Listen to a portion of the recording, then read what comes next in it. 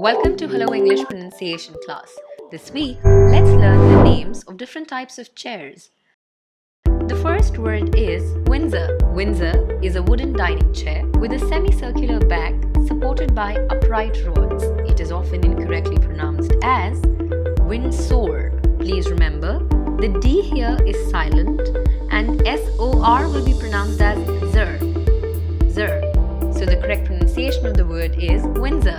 Recliner is a chair in which you can lean back at different angles. You can find recliners in movie and home theaters. It is often incorrectly pronounced as recliner. In order to pronounce this word correctly, let's break it into three parts re, cly, and ner. Now let's speak all these three parts together. Recliner. So the correct pronunciation of the word is recliner. Rocking chair is a chair built on two pieces of curved wood so that you can move forward and backward. Sometimes people incorrectly pronounce it as rocking.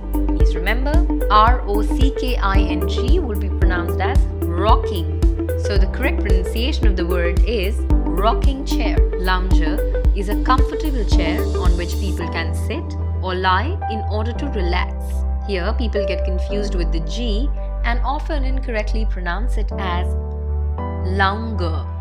Please remember the G here would be pronounced as J and therefore the correct pronunciation of the word is lounger. Wingback is a chair with wings mounted to the back of the chair stretching down to the armrest. Now here some people make the mistake of pronouncing G as J incorrectly pronouncing it as wingeback. Please remember W-I-N-G will be pronounced as wing and B-A-C-K will be pronounced as back.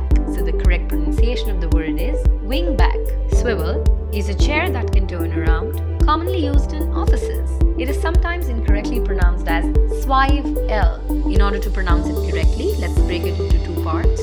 S-W-I-V, swiv, and E-L-L, swivel. So the correct pronunciation of the word is swivel. Now listen to the correct pronunciation of these words once again. Windsor, recliner, rocking chair, lounger, wingback, that's all for this week. To learn the correct pronunciation of some more general English words, stay updated with pronunciation class.